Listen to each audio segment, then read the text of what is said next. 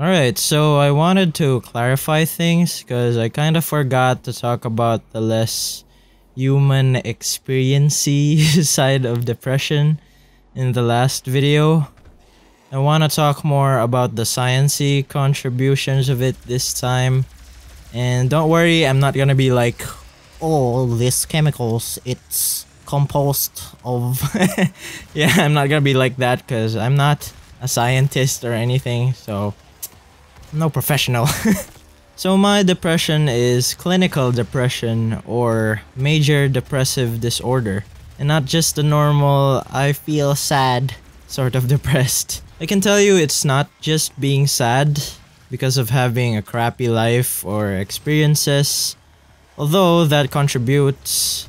But in fact, it's not actually just a state of sadness. It's more so a state of confusion and sometimes different emotions, and sometimes even no emotion at all. It's an actual disorder in the brain. My psychiatrist told me that it's a chemical imbalance in the brain, specifically towards this chemical called serotonin. Serotonin? Serotonin? I don't know. but yeah, it's towards that chemical. So it's not just life events or personality or things like that that makes a person clinically depressed. There's also the biological factors, like blood relatives might have contributed to me being depressed.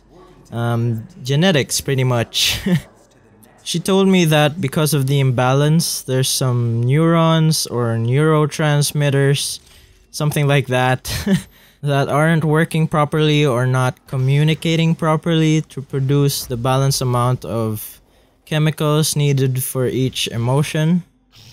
And yeah, when I said it's been affecting my life, I meant like since all of these are factors, it's been affecting my social skills, cognitive learning, and stuff like that. I even forgot to talk about my anxiety issues, but I guess that's for another video. So yeah, this is not just me being, oh boo-hoo, I'm sad, life sucks.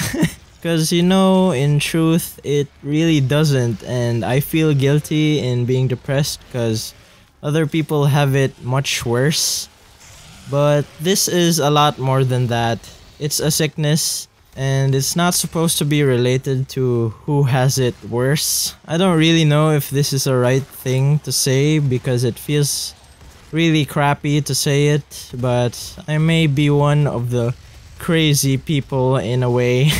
like I said, this is not just me being sad. I can't really get rid of this as much as I really do want to get rid of it. I can't get rid of it like a piece of trash that I can just throw away.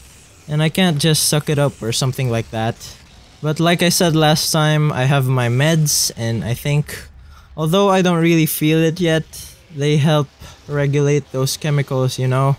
So I know there's still a chance to get better. I guess the right way to think about this is me dealing with my demons.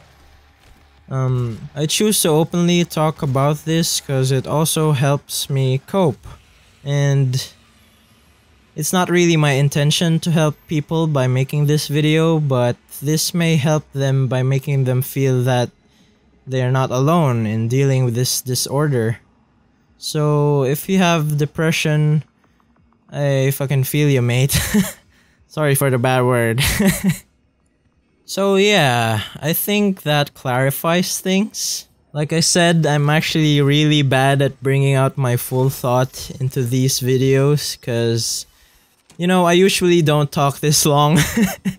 I know I've still missed a lot of stuff I wanted to talk about, but I think this gives at least a small idea of it. And lastly, if you don't like this kind of content, I'm sorry, but it's my channel and I'll choose what to make. So, sorry. so, yeah, again, I guess please just bear with me if you don't like this content. More stuff coming soon. And it's not always gonna be like this. So yeah,